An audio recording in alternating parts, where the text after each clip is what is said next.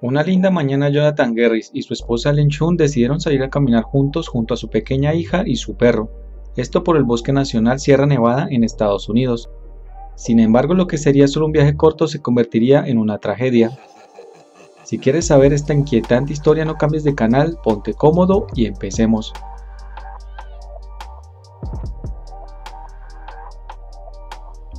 Aunque la familia planeó un corto paseo, dos días después la policía encontró los cuerpos de los cuatro integrantes, incluido el perro, en una ruta de senderismo cerca de Río Merced. Sin embargo, no se encontraron signos de violencia o de otro tipo, por lo que se empezó una investigación que duraría varios meses.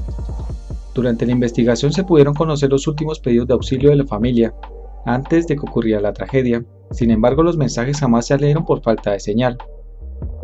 Puedes ayudarnos en el sendero Savage Lundi regresando al sendero High Scope. No hay agua, nos estamos insolando con la bebé, escribieron, sin poder recibir alguna respuesta. Junto a los cuerpos de la familia, las autoridades encontraron un recipiente de agua vacío de 2.5 litros. Las hipótesis fueron muchas, y luego de dos meses de investigación se determinó que la familia había muerto por hipertermia, temperatura corporal por encima de lo normal, y probablemente deshidratados, según el sheriff, la caminata inicial comenzó a una temperatura de 24 grados centígrados, pero a medida que descendían por el sendero la temperatura comenzaba a elevarse. Cuando llegaron a un tramo empinado llamado Savage Lundi, el termómetro marcaba 43 grados centígrados. Y es en ese momento cuando tratarían de comunicarse sin éxito y en donde empezaría la hipertermia, acabando con la vida de toda la familia.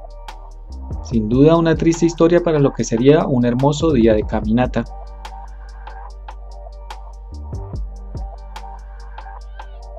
Si el video te gustó no te olvides de comentar, compartirlo y suscribirte al canal. Muchas gracias.